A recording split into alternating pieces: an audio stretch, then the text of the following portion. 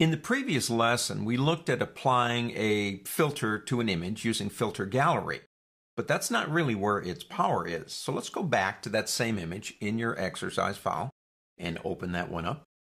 Make it a little bit bigger, double click on the hand tool, and let's go back into the Filter Gallery. You will notice that the first thing I see is Filter Gallery, and that's because that's the last thing that I did in the previous lesson. If I click that button, it will reapply to this image exactly what that image had applied to it, which was the cutout filter.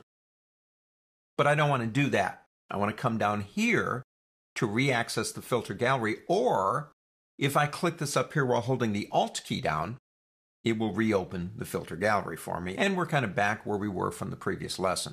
Let's turn cutout off for a second. Makes it render faster when I reduce the size. Let's come down here and get that down to a little bit more of a manageable size for us. Okay, we'll stop there. Let's turn cutout back on. Image size determines rendering. Sometimes it takes longer if you've got large images. Okay, I like cutout, but I want to see what would happen if I do something else to the image. So here's the power of this. I could come over here now and click, but all that's really going to do is redraw it using colored pencil.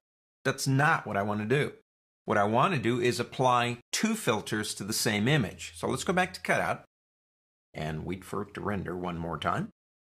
What we're going to do is we're going to come down here and click the new button right there. Now that's for a new filter layer. By default, you're going to get another cutout. It's just going to copy whatever one was selected.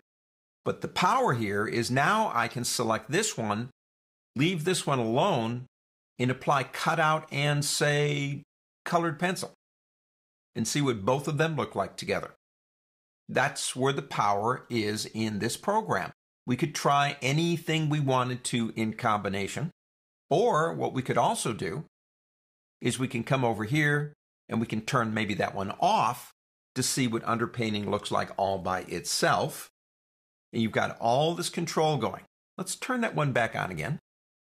And what we'll do is let's close artistic, try something else.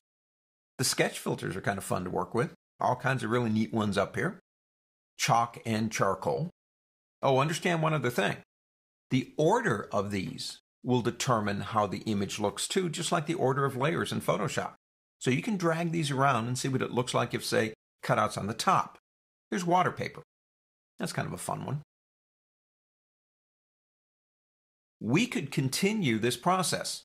We could add another filter layer, play around with all of the controls up here and get exactly what we want to see.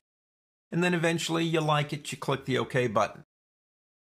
But we still have one problem. We're not really working as smart as we can. So in the next lesson, what we're going to do is work just a little bit smarter. On to the next.